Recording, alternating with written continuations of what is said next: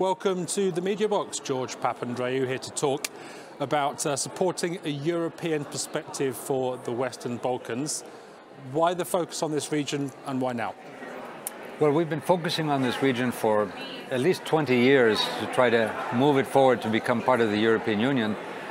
But uh, now with the geopolitical situation, I think people have realized that if we leave areas um, lingering, uh, isolated, and not bringing them into our family, which basically guarantees uh, a family of values, of uh, institutions which work, of democracy which work, of respect of human rights, respect of minority rights, of uh, transparency and fighting inequalities, and giving a sense of possible prosperity. If we do not move in this direction, then all things can happen. And uh, geopolitics can get involved, uh, certain groups will look for big brothers to protect their interests uh, against another group. So you're talking about Russia as the, the Russia, Russia, but of course, and and and there are there are many countries that could possibly uh, profit from uh, creating more divisions in the Western Balkans, which already has come come through conflicts in the past uh,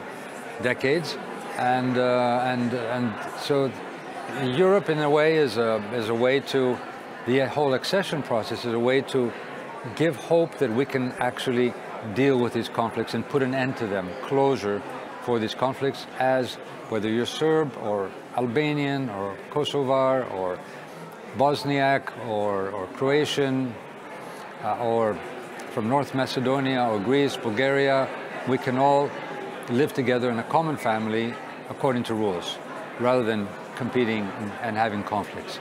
Young people they feel that they have no prospect. So what do they do? They migrate to Europe or to the rest of Europe. They migrate outside.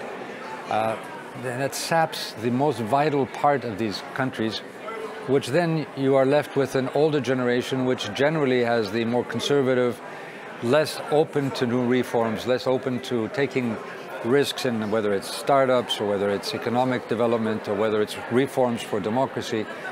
So you really are destroying the potential of this, this region, and we need to bring them back by making these reform changes. And this is where the Council of Europe actually can play a, major role. How can it play that role in terms of, as you put it, adding new impetus to European integration? With our strategic relationship, the Council of Europe, with the European Union, we can work with these countries, and I would hope to create a momentum, a new momentum. Uh, to give agency, first of all, to the countries themselves, the region themselves, itself, but also to bring this expertise and this knowledge uh, at the same time asking the European Union to step up to its responsibilities and saying, okay, it's been 20 years since the Thessaloniki summit in 2003 where we pledged we would have these countries inside the European Union. It's taken a long time. Let's make a new effort. Let's have a new start. Let's, let's rekindle the dream that so many of these peoples in the region want because they realize that being in the European Union is not just prosperity, it's not just financial or economic prosperity, it's a sense of freedom, a sense of democracy, a sense of being able to, to, to respect your own identity, whoever you may be, religiously, ethnically, gender-wise, politically, you have, uh, you have uh, respect of who you are, and therefore a sense of freedom, freedom of movement also, and uh, I think this will then basically heal the wounds of previous conflicts. George Papandreou, thanks for talking to us. Thank you very much.